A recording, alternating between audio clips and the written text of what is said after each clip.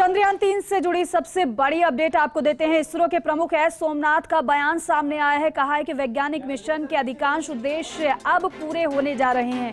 Lander और rover सभी चालू हैं। मैं समझता हूँ कि सभी वैज्ञानिक डेटा बहुत अच्छे दिख रहे हैं। हम अगले 14 दिन चाँद से मिलने वाले बहुत से डेटा का अध्ययन जारी रखेंगे। हमें उम्मीद है कि विज्ञान के लिए वास्तव में अच्छी सफलता हासिल करेंगे। इसीलिए हम अगले 13 से 14 दिनों के लिए काफ़ी उत्साहित हैं।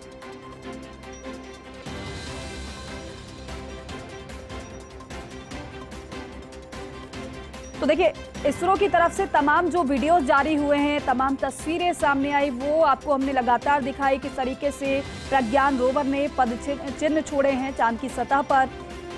प्रधानमंत्री कल पहुँचे थे बेंगलुरु, वैज्ञानिकों से मुलाकात हुई थी और उस दौरान वैज्ञानिकों ने जितनी भी तस्वीरें अभी तक आई हैं, फ्रेम करवाकर प्रधानमंत्री को वो दी भी।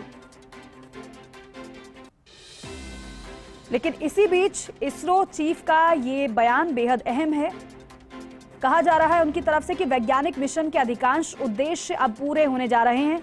लैंडर और रोवर सभी चालू हैं, यानी कि ठीक तरीके से वो काम कर रहे हैं, जिस स्ट्रैटेजी के तहत उनको भेजा गया था।